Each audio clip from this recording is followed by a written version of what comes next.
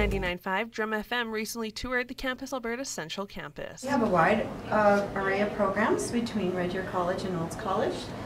And we also offer face-to-face programming. So right now we have the healthcare aid program uh, going on, and in the spring we will be offering heavy equipment operator again this year. High school students are encouraged to take the college level program for 25 credits towards their graduation. Just kind of like the opportunity as for a college program well in high school is kind of because college is usually after school, not so much in school, so it was kind of like a wow, okay.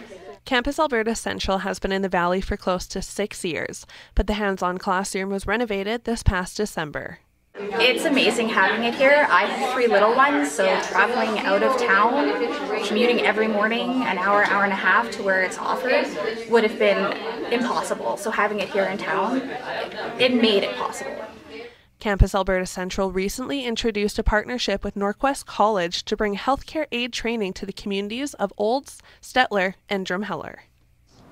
Uh, the partnership is that we are uh, Norquest College. It's their um, their program, their material. Uh, Campus Alberta Central can make it happen in our locations, but they are delivering their program uh, with their specific instructions. The program runs from February to June with students learning via online modules and hands on training. Kind of hoping to take action over at the hospital. If not, then maybe try to do it over in Lethbridge while I'm taking my university courses.